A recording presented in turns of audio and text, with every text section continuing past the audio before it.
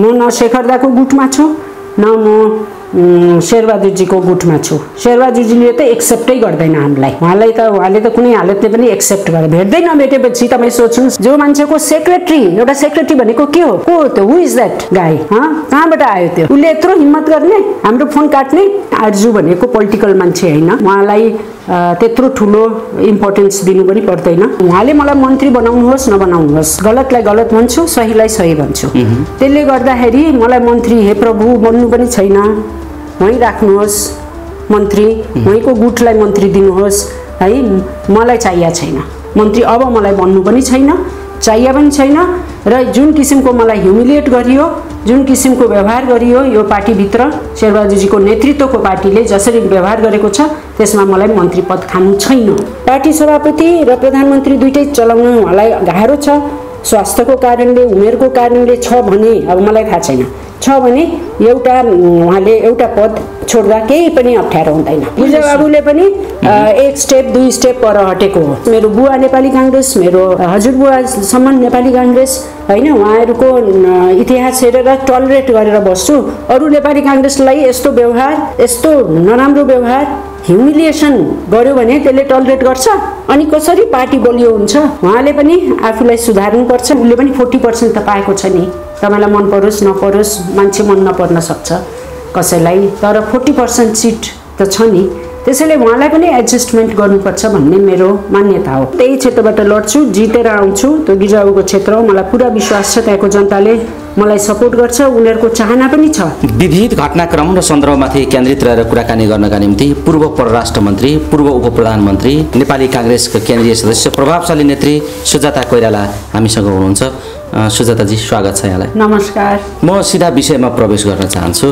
नेपाली काङ्ग्रेस अन्तर्कलहको शिकार बनेको छ। पार्टीको कार्यालयमा नाराज जुलुस छ।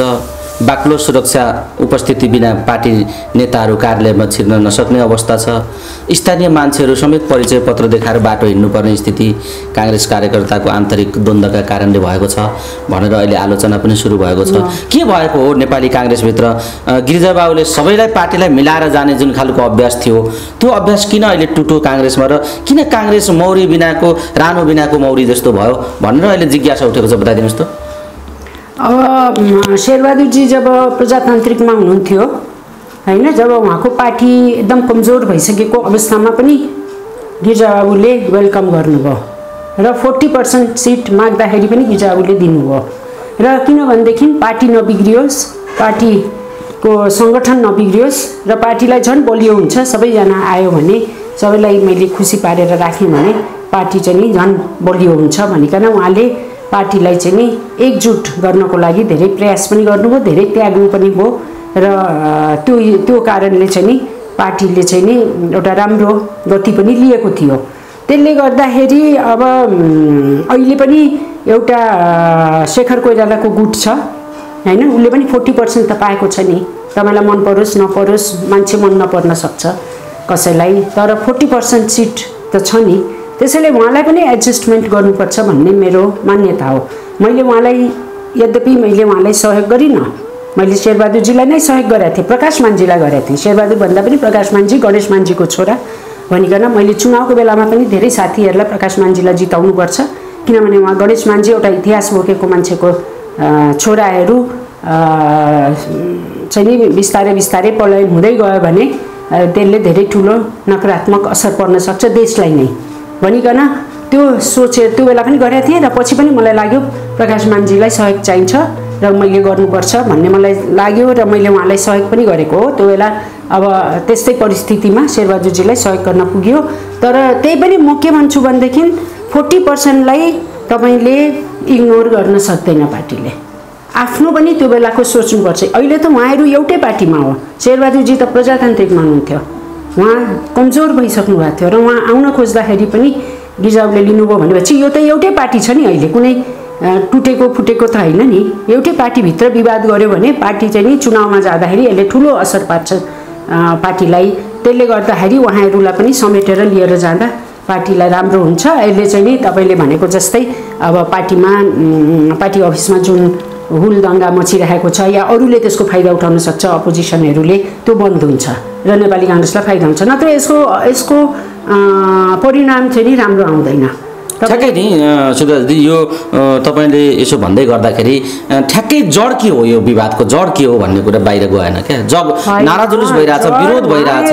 यसको जड कुरा के हो बताउनुहोस् न। उहाँहरूको के छ भनेदेखि उहाँहरूको कुरा के हो भनेदेखि उहाँहरूलाई पनि स्थान दिनु पर्यो। फोर्टी पर्सेन्ट उहाँहरूले भनेको पार्टीमा प्रतिनिधिहरूको उपस्थिति हुनु पर्यो भन्ने चाहिँ नि मैले बुझेको चाहिँ नि मेन कुरा त्यही हो। त उहाँहरूलाई सन्तुष्ट पार्नको लागि पनि पार्टीले पहल त गर्नु पर्यो नि। तपाईँले कोही मन पर्दैन भनेर पार्टीको मान्छेहरूलाई सिध्याइ नै दिने त गर्नु भएन होइन? र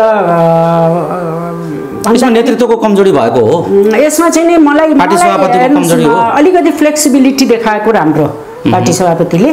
पार्टी सभापतिको त अधिकार छँदैछ नि। पार्टी सभापति बलियो हुनुहुन्छ उहाँको अरू धेरै अधिकारहरू छन्।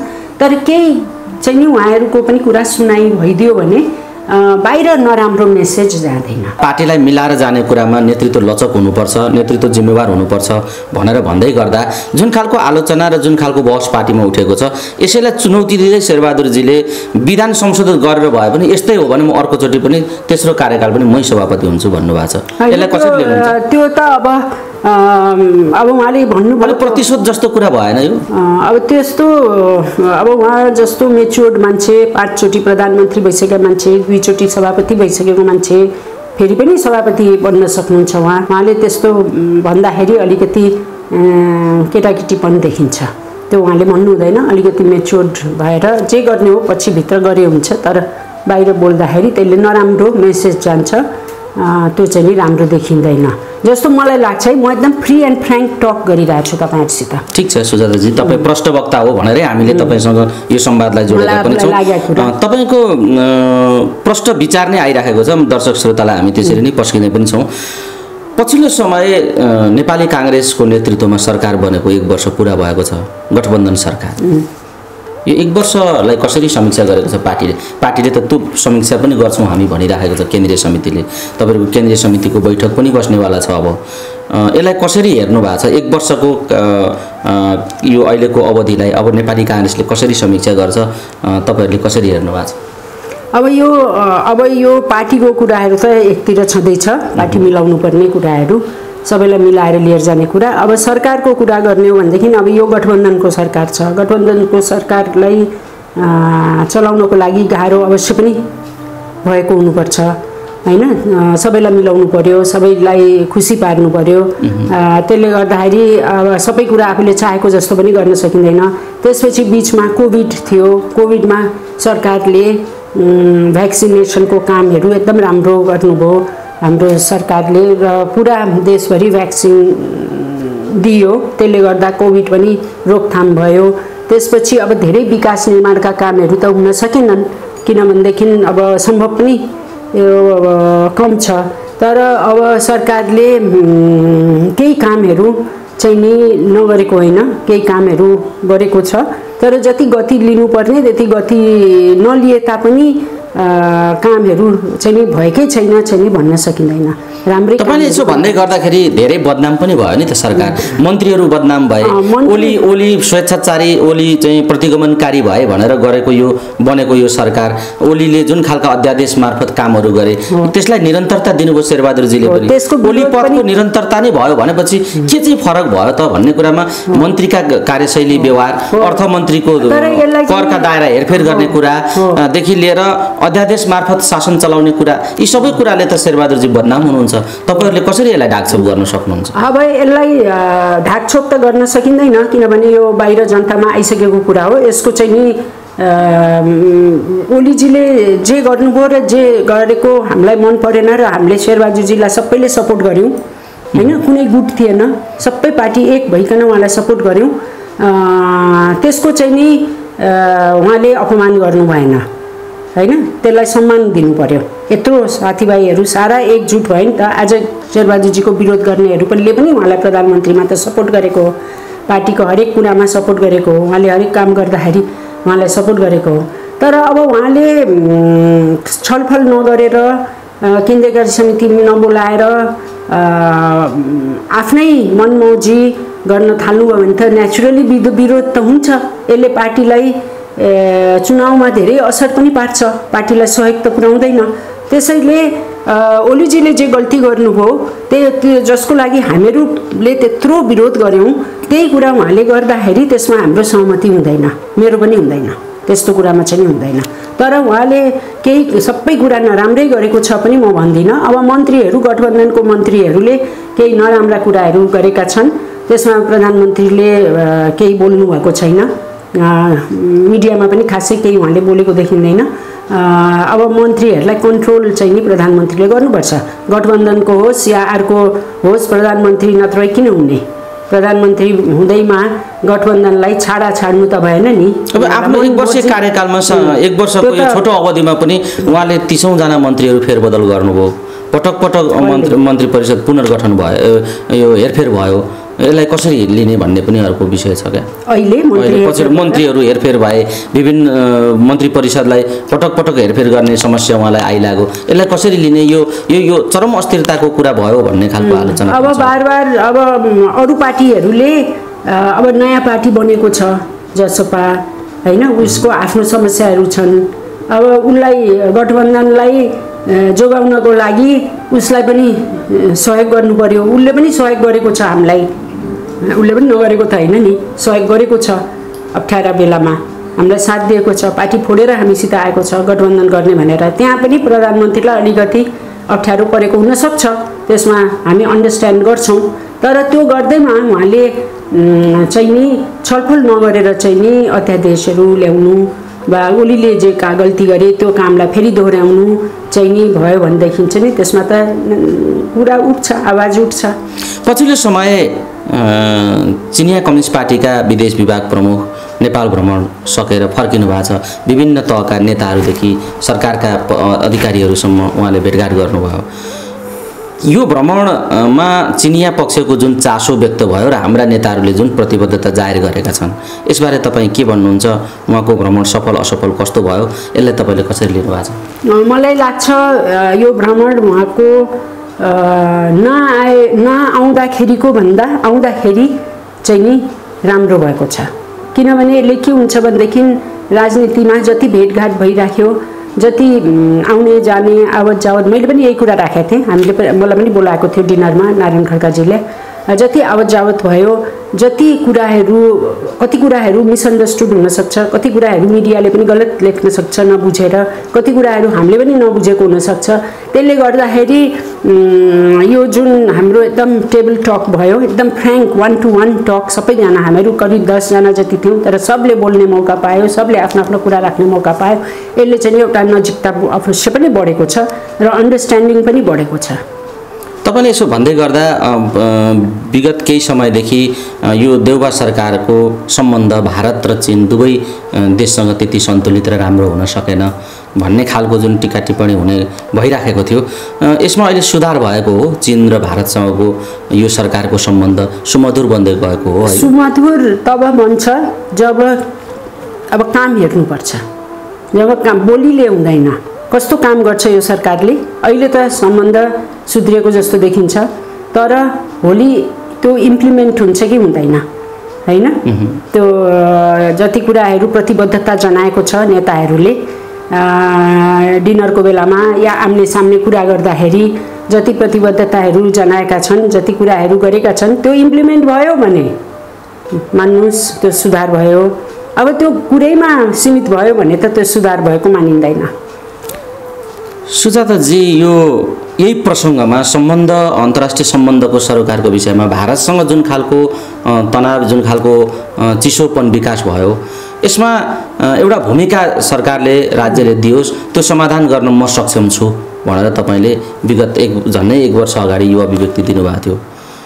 खास समस्या के हो भारतसँग बढेको समस्या? बोर्डर इस्युहरू छ।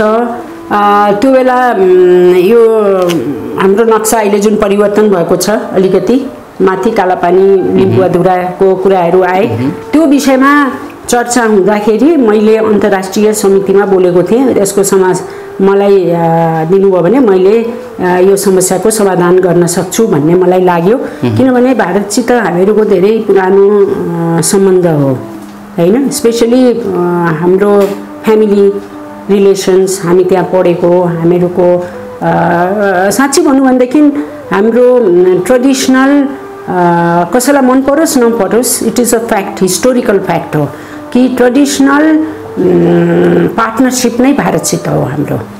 होइन? त्यसको मतलब यो होइन कि हामी चिनको विरोधी वा अमेरिकाको विरोधी वा अन्य मुलुकहरूको विरोधी त्यो होइन। हामीले सबैसित राम्रो गर्नुपर्छ। नेपालले सबैसित राम्रो सम्बन्ध राख्नुपर्छ। तर हाम्रो ओपन बोर्डर छ हाम्रो आवत जावत छ अब भाषा मिल्छ। अब भारतमा गइकन मैले हिन्दीमा बोल्न सक्छु। यो कहीँ हुन्छ यस्तो?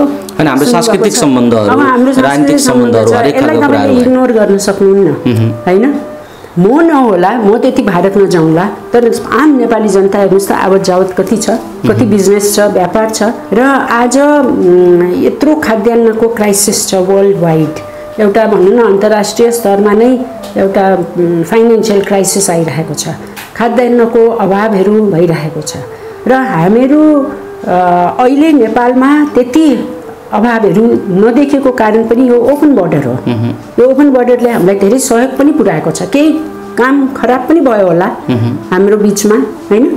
अब इन्क्रोचमेन्टका कुराहरू छन् बोर्डर इस्युजहरू छन् त्यसलाई मिलाउनुपर्छ अब कति कुराहरू टेरोरिजमको कुराहरू छ होइन? धेरै कुराहरू छ। सेक्युरिटीका मामलाहरू छन्। त्यहाँ केही ऊ हुनसक्छ केही असहज कामहरू भएको हुनसक्छ होइन? कसैको गल्तीले होइन? त्यो केही कमी कमजोरीले त्यहाँ हामीले ध्यान नपुऱ्याएको हुनसक्छ त्यहाँ ध्यान पुऱ्याउनुपर्छ। तर तर अरू कुरा तपाईँले हेर्नुभयो भने अलि ठुलो हिसाबमा हेर्नुभयो भनेदेखि हामीहरूलाई धेरै नै फाइदा छ नेपाललाई पनि। है हामीले लङ टर्म अरू कुरा पनि सोचिरहेछ त्यसको अर्थ यो होइन कि हामीले नेपाल चाहिँ नि भारतले जे भन्यो त्यही मान्ने भारतले नेपाललाई अहित गर्यो भने पनि हामी चुप लाएर सहेर बस्ने किनभने उसले हामीलाई सहयोग पुऱ्याउँछ। त्यो होइन। तर एउटा राम्रो सम्बन्ध त राख्नै पर्छ तपाईँले। राख्नै पर्छ। त्यो सम्बन्ध त्यो सम्बन्ध बिग्रियो भने नेपालमा तपाईँलाई अस्थिरता निम्त्याउँछ। त्यो सम्बन्ध बिग्रियो भने नेपालमा अभावहरू हुन थाल्छ। त्यसैले यसलाई कसरी ब्यालेन्स गरेर राम्ररी लिएर जाने त्यो गर्न सक्छु मैले भनेर मैले भने हो। तपाईँको कुरा जुन क्वेसन थियो कि तपाईँले यस्तो भन्नुभएको थियो भारतसित मैले मिलाउन सक्छु त्यो मैले बुझेको हुनाले भारतलाई चिनेको हुनाले भारतलाई बुझेको हुनाले र मलाई लागेको मैले ठिक छ ठिक छ सुजाजी त्यो आत्मविश्वासका साथ तपाईँले यो कुरा राख्नु भएको थियो। मैले त्यसलाई अलिकति जोड्न खोजेको थिएँ। तर यस्तो चासो यस्तै चासो चिनको पाटोबाट चिनिया पक्षबाट पनि आइराखेको छ। विशेष गरी एमसिसीका कुरा ले चिन सशङ्कित भएको छ। सँगसँगै एसपिपीको कुरा आइराखेको छ।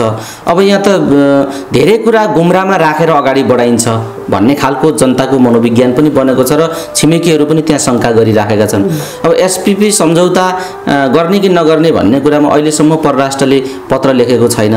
नगर्ने भन्ने एउटा निर्णय त भयो तर परराष्ट्रले अहिलेसम्म सम्बन्धित पक्षलाई पत्र लेखेको छैन भन्ने कुरा पनि छ। शेरबहादुरजी गोप्य भित्री खल्तीमा फेरि यो एसपिपी सम्झौताको फाइल बोकेर चाहिँ हिँडिराख्नु भएको छ। उहाँ गर्ने मनोविज्ञानमै हुनुहुन्छ भन्ने टिका टिप्पणी पनि सुरु भएको छ। यसलाई तपाईँ के भन्नुहुन्छ? तपाईँको पार्टीको तर्फबाट तपाईँको तर्फबाट के भन्नुहुन्छ यो विषयमा? अब एमसिसी चाहिँ के थियो भनेदेखि हाम्रो भनौँ न त्यसलाई हामी सबैले सपोर्ट गरेको हो किनभने त्यो नेपालको हितमा हुन्छ अनुदान हो भनिकन हामीले त्यसलाई सपोर्ट गरेको अनुदान पनि हो र ट्रान्समिसन लाइन पनि बन्छ र भारतलाई हामीले बेच्न पनि सक्छौँ हामीलाई धेरै त्यसले फाइदा पनि छ यसलाई राम्ररी गऱ्यौँ भने राम्ररी हामीले हेऱ्यौँ भने। त्यो भनिकन एमसिसीलाई नेपाली काङ्ग्रेसले सपोर्ट गर्यो। तर जब शेरबहादुरजीले भनौँ न प्रधानमन्त्रीले या पार्टी सभापतिले एमसिसीको कुरा जबसम्म केन्द्रीय कार्य समितिमा ल्याउनु भएन यसमा धेरै विवाद भयो। पार्टीभित्र पनि धेरै विवाद भयो। तर जब उहाँले पार्टीमा यसको छलफल चलाउनु हो केन्द्रीय कार्य समितिमा यस यो कुराहरू बताउनु भयो त्यहाँ तब चाहिँ नि सपोर्ट आउन थाल्यो। किनभने मान्छेले बुझे। त्यसैले एकदम छलफल चलाउनै पर्छ। डराएर लुकाएर किन डराउने? जब तपाईँले केही काम गर्दै हुनुहुन्छ भने त मैले केही काम गर्छु भने इम्प्लिमेन्ट गर्छु भने त मैले आत्मविश्वास भएर नै गर्छु मेरो कन्ट्रीको लागि राम्रो हुन्छ भनेर गर्छु। अनि किन डराउने? कोसित डराउने? होइन? अब एसपिपीको बारेमा पनि केही थाहा छैन। एसपिपीको बारेमा पनि कुनै छलफल भएको छैन। एकैचोटि सुन्यो एकैचोटि आयो एसपिपीको कुरा। अब यो यसले गर्दाखेरि चाहिँ नि एउटा नेगेटिभ मेसेज जान्छ पब्लिकमा कि ए नेपाली काङ्ग्रेसले त अब देशै बेच्न थाल्यो कि देशै खतम पार्न थाल्यो कि भनेर। यो नेगेटिभ मेसेजबाट नजाओस् भनिकन यो त छलफलको विषय त हुनु पऱ्यो नि। छलफल गरेपछि हामी भनौँला नि यो ल्याउने नल्याउने हामीलाई फाइदा छैन भने हामी भन्छौँ यो ल्याउनु हुँदैन भनेर। हामीलाई फाइदा छ भने देखाउनु पऱ्यो नि त कहाँ कहाँ फाइदा छ। होइन?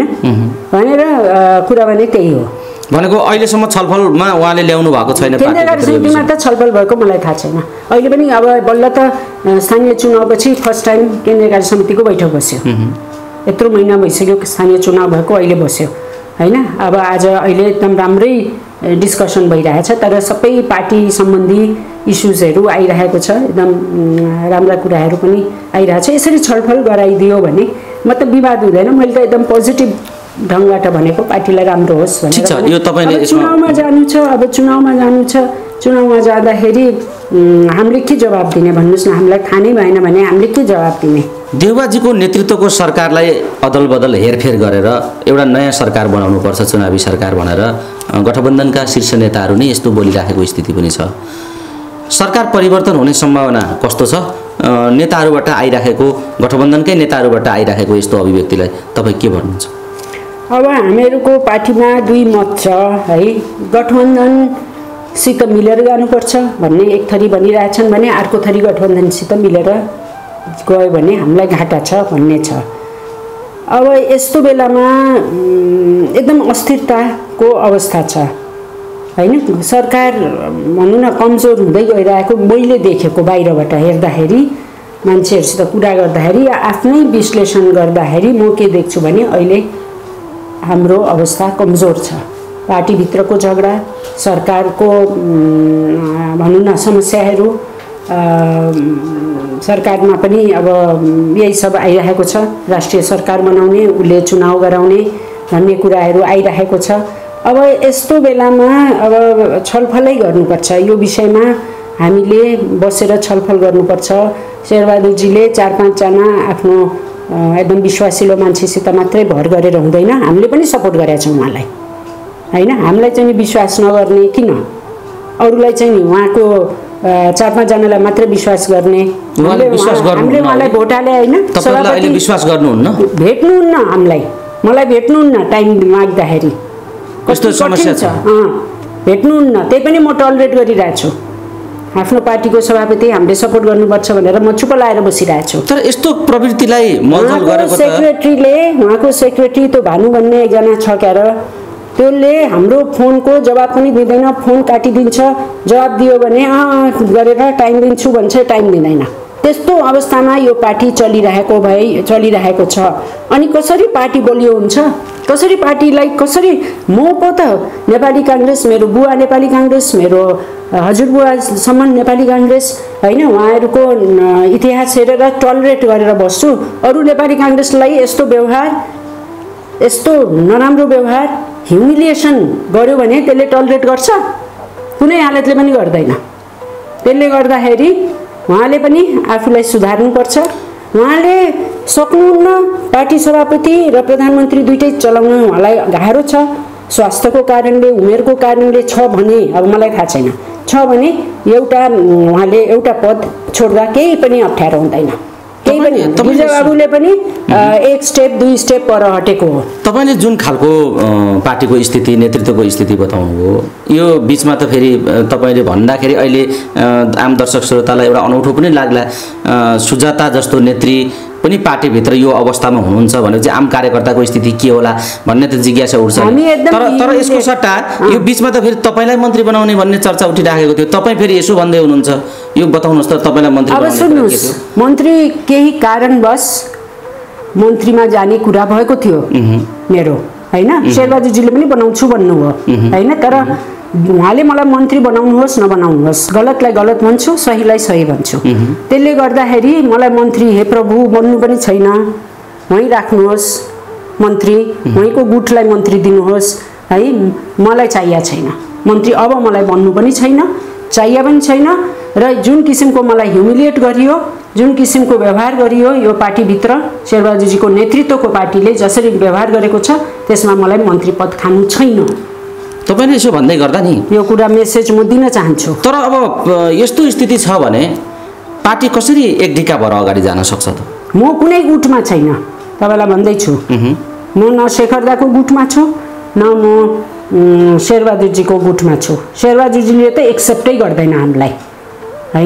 उहाँलाई त उहाँले त कुनै हालतले पनि एक्सेप्ट गर्दैन भेट्दै नभेटेपछि तपाईँ सोच्नुहोस्। तर जो मान्छेले जो मान्छेको सेक्रेटरी एउटा सेक्रेटरी भनेको के हो? को हो त्यो? हु इज द्याट गाई हँ? कहाँबाट आयो त्यो? उसले यत्रो हिम्मत गर्ने हाम्रो फोन काट्ने? म फरेन मिनिस्टर भएको होइन। म यो देशको डिपिएम होइन। त्यस्तो व्यक्तिहरूलाई फेरि चाकरी गरेर म मन्त्री खान्न म चाहिँदैन मलाई। अहिले तपाईँको यो तपाईँको आफ्नो निर्णय हो।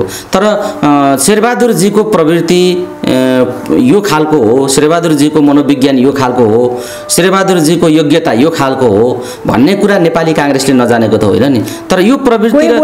यो प्रवृत्ति र यो विचारलाई मलजल गर्ने त तपाईँहरू नै हो नि। अनि कोही बोल्दैन नि।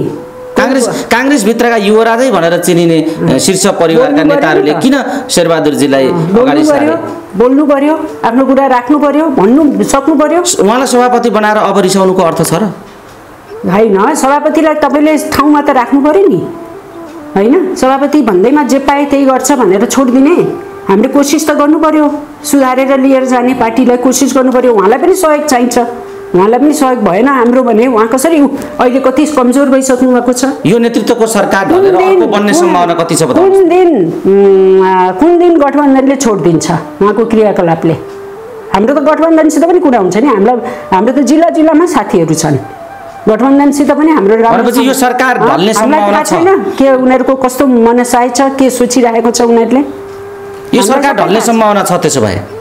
अब त्यो त मैले कसरी भन्नु? ढल्ने सम्भावना छ भनेर तर त्यो परिस्थिति चाहिँ नि राम्रो छैन नेपाली काङ्ग्रेसको लागि। हामी कुराकानीको अन्तिम चरणमा छौँ। तपाईँ निर्वाचन पनि आउँदैछ। तपाईँ पनि प्रत्यक्ष निर्वाचनमा भाग लिँदै हुनुहुन्छ। प्रत्यक्ष निर्वाचन लड्ने मुडमा हुनुहुन्छ तपाईँ भन्ने खालको अहिले चर्चा पनि उठेको छ। कहाँबाट कसरी चुनावी तयारी गर्दै हुनुहुन्छ? अब मेरो मेरो बुवाको कन्स्टिट्युएन्सी छ। दुई नम्बर मोरङको। त्यहाँबाट म चुनाव लड्ने मेरो इच्छा। त्यहाँ मैले मिनेन्द्र रिजाललाई दिएको थिएँ लास्ट टाइम शेरबहादुरजीले त्यो बेला मलाई सोधेर नै गर्नुभएको थियो। उहाँले त्यहाँ मेयर पनि उहाँले मसित सोधेर ल भन्नुहोस् कसलाई मेयर दिउँ भन्दाखेरि मैले दुईजनाको नाम दिएको थिएँ दुईजना जिते। यसपालि उहाँले यसपालि पनि उहाँले उहाँसित कुरा गर्दा उहाँ एकदम राम्रो कुरा गर्नुहुन्छ। तर यसपालि पनि उहाँले मलाई सुजाताले को क्षेत्र हो त्यो सुजाताले नै टिकट पाउनुपर्छ। र सुजाताले भनेको मान्छेले मेयरको टिकट पाउनुपर्छ? किनभने उहाँ चुनाव लड्ने हो त्यहाँ। भनेको थियो तर त्यो भएन। नभएको कारणले हार्यो। त्यहाँ धेरै नेपाली काङ्ग्रेसले लुज गर्नु पर्यो धेरै अब मेहनत गर्नुपर्छ। धेरै मेहनत गर्नुपर्छ। र कुनै सल्लाह पनि गर्नु भएन कसैले मसित। के कसरी जाने के गर्ने भनेर। उत उताको नेताहरूले मिनेन्द्रजीहरू जस्तो नेताहरूले सल्लाह गर्नु पर्थ्यो त्यो पनि भएन। त्यसले गर्दाखेरि हामीले धेरै लस अब धेरै लस भएको छ हामीलाई त्यो क्षेत्रमा। तर त्यही पनि म चुनाव लड्छु। त्यही क्षेत्रमा जितेर आउँछु त्यही क्षेत्रबाट लड्छु। जितेर आउँछु त्यो गिजाउको क्षेत्र हो। मलाई पुरा विश्वास छ त्यहाँको जनताले मलाई सपोर्ट गर्छ। उनीहरूको चाहना पनि छ कि म आउँ म त्यहाँबाट लडौँ भन्ने उनीहरूको चाहना पनि छ। पहिलोचोटि मैले मिनेन्द्र रिजाललाई दिएँ किन भनेदेखि म बिरामी थिएँ। बिरामी त क्योर भइसकेको थियो तर भर्खर अपरेसन गरेर आएकोले मलाई ऊ भयो अलि भनौँ न कन्फिडेन्स लुज गरेको थिएँ मैले। त्यसले गर्दाखेरि चुनाव लडिनँ तर अब म मेरो पोजिसन एकदम राम्रो छ त्यहाँ म बाहेक कसैले पनि जित्न सक्दैन। जित्यो भने मैले नै जित्छु। त्यो क्षेत्रमा त्यस कारणले तपाईँ त्यहाँबाट उठ्नुहुन्छ। त्यसैले म त्यहाँबाट उठ्छु। अब शेरबहादुरजीले मलाई के गर्नुहुन्छ थाहा छैन। यो ठिक छ। यो यो हामी कुराकानीको अन्तिम चरणमा छौँ। जाँदै जाँदै। अहिले पछिल्लो समय शेरबहादुरजी जसरी सरकार सञ्चालन गरिराख्नु भएको छ शेरबहादुरजी भन्दा बढी यो सरकार सञ्चालन गर्ने सवालमा आर्जुजी विवादित बन्दै जानुहुन्छ। पटक पटक शेरबहादुरसँग जोडेर आर्जुजीलाई जोडेर हेर्ने गरिएको छ। अहिले चिनिया प्रतिनिधि यहाँ भ्रमणमा आइराखेको बेला उहाँ दिल्ली पुग्नुभयो भन्ने कुरा पनि आइराखेको छ। यो किन आर्जुजीलाई नेपाली काङ्ग्रेसले यसरी परिचालन गरेको हो या उहाँले आफ्नो शक्तिलाई दुरुपयोग गर्नुभएको हो या उहाँका बाध्यताहरू छन् के हो यो विषय बताइदिनुहोस्? त्यो त मलाई थाहा छैन उहाँहरूको भित्री कुरा उहाँहरू यस्तो गुटमा हुनुहुन्छ यस्तो इन्टरनल गुटमा उहाँहरू काम गर्नुहुन्छ कि हामीलाई थाहा नै हुँदैन। मैले कसरी थाहा नभएको कुरा भन्नु होइन? मेरो एउटै कुरा के छ भने आर्जु भनेको पोलिटिकल मान्छे होइन होइन? उहाँलाई त्यत्रो ठुलो इम्पोर्टेन्स दिनु पनि पर्दैन। र दिनु पनि आवश्यक छ जस्तो किन। भारत जानुभयो यही बेला तर, भन्ने चर्चा छ अहिले। तर अब भारत त अब गइरहेको छन् नि। म पनि अस्ति गएर आएँ। उहाँ पनि जानुभयो। अब चर्चा त अब चर्चा त छ तर त्यही हो भन्ने मलाई कसरी थाहा हुने। अब गेस गरेर त भन्नु भएन हल्ला सुनेर त भन्नु बोल्नु भएन। हल्लाहरू त धेरै छन् धेरै कुराहरू छन्। प्रचण्डजी पनि अब भाज- भाजपाको निमन्त्रणामा भारत जाँदै हुनुहुन्छ। किन नेताहरू अहिले भारत यात्रामा अलि तपाईँले? भारतलाई माइनस गरेर नेपालमा कसैले राजनीति गर्छ भने मलाई त्यो सक्सेस त्यो राजनीतिमा हुन्छ भने मलाई देखाइदिनु। आजको दिनसम्म त्यस कारणले किन जान्छन् त भारत तिनीहरू? जहिले पनि दौडी दौडी भारत जान्छन्। केही त होला नि। होइन? भारत जानुपर्ने आवश्यकता त होला केही। भारतले भारतसित तपाईँले झगडा गरेर नेपालमा राम्रो परिस्थिति आउँदैन। ऊ अहिले किन अस्थिरता आइरहेछ? किनभने हाम्रो सम्बन्ध भारतसित बिग्रियो। हामीले चिनसित पनि ब्यालेन्स गर्नुपर्छ। अब भारतसित पनि बिगार्ने चिनसित गिर्जाउले कसरी गर्नु अब अमेरिकासँग सम्भावना आयो कुराले। अमेरिकासँग पनि अमेरिका पनि अब चिडिन्छ। चिडिने त्यसैले। यसरी कि त गर्नुपर्छ? कि त गर्न सक्दैन भने त्यस्तो कामहरू गर्ने हुँदैन। होइन? गरेपछि गर्नुपर्छ।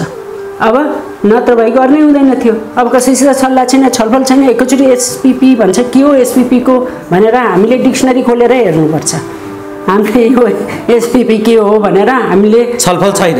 केही छलफल छैन। सूचना छैन जानकारी छैन छलफल छैन भनेपछि यो जुन खालको ढङ्गले प्रष्ट ढङ्गले विचार राखिदिनु अ, जाँदा जाँदै आम दर्शक श्रोताहरूलाई के भन्नुहुन्छ?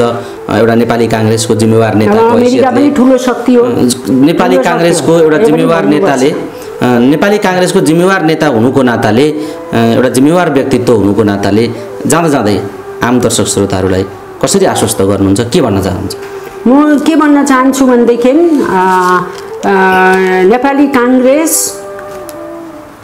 अहिले पनि नेपाली काङ्ग्रेस एउटा ठुलो प्रजातान्त्रिक पार्टी हो।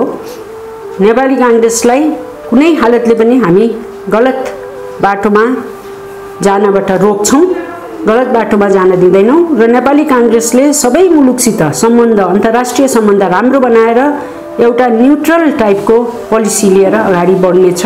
त्यसको लागि हामीहरूले आवाज उठाउनेछौँ र कुनै कुरा पनि गर्दाखेरि हामीले छलफल नगरिकन हामी गर्न दिँदैनौँ र जनता नेपाली काङ्ग्रेसका कार्यकर्ता नेपाली काङ्ग्रेसका युवाहरू महिलाहरू यो देशको जनताहरू सबैलाई म के भन्न चाहन्छु भनेदेखि के विश्वस्त गर्न चाहन्छु भने हामी अझै पनि छौँ जो यो देशमा दुःख सुख हरेक समयमा तपाईँहरूलाई साथ दिएका थियौँ। तपाईँहरूसित लडेका थियौँ भिडेका थियौँ मुलुकमा प्रजातन्त्रको स्थापना गरेका थियौँ सबैजना मिलेर र त्यो प्रजातन्त्रलाई गुमाउन कुनै हालतले पनि हामी दिँदैनौँ त्यसको लागि त्यसको रक्षक भएर नेपाली काङ्ग्रेस बस्नेछ र नेपाली काङ्ग्रेसलाई आउँदो दिनमा एकदम बलियो बनाएर अत्याधिक बहुमतले चुनाव जिताएर हामी अगाडि बढ्नेछौँ हामी मरिसकेको त छैन नि हामी त जिउँदैछौँ नि त्यही भन्न चाहन्छु। पार्टीमा हाम्रो स्थान नभए पनि हाम्रो बाहिर त पब्लिक इमेज त छ नि। पब्लिकमा त हाम्रो स्थान छ नि।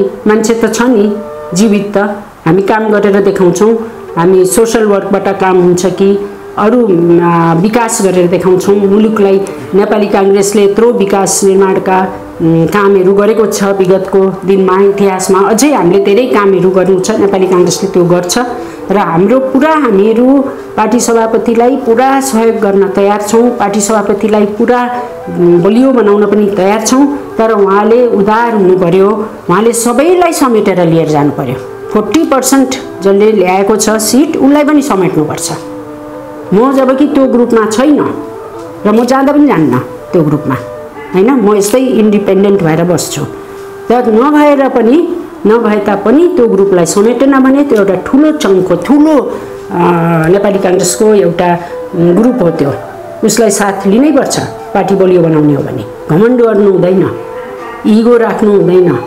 इगोले मान्छेलाई कहिले पनि माथि लग्दैन। इगोले मान्छेलाई समाप्त पार्छ। भन्ने कुरा मैले सिकेको छु। म पनि एकदम इगोइस्ट। पहिले। बुझ्नुभयो एकदम इगोइस्ट आफ्नो कुरा छोड्दै नछोड्ने जित गर्ने। तर त्यसले मान्छेलाई कहिले पनि भलाइ गर्दैन त्यसले मान्छेलाई कहिले पनि माथि लग्दैन। त्यसले जहिले पनि गलत कामै गर्छ तर इगोले गर्दा आफ्नो इगोले गर्दा कहिले नस्वीकार्ने। मैले गल्ती गरेँ जहिले पनि म ठिक गरेँ। मै म सबभन्दा ठुलो।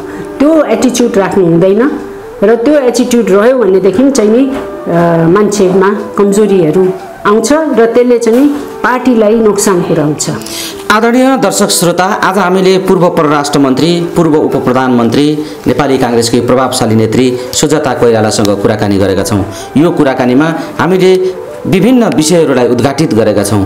विषयलाई उद्घाटित गर्ने दायित्व हाम्रो धारणा बनाउने जिम्मा तपाईँ दर्शक श्रोताहरूलाई सुम्पदै अमूल्य समय दिनुभयो। यो महत्त्वपूर्ण समय र संवादका लागि यहाँलाई धेरै धेरै धन्यवाद छ।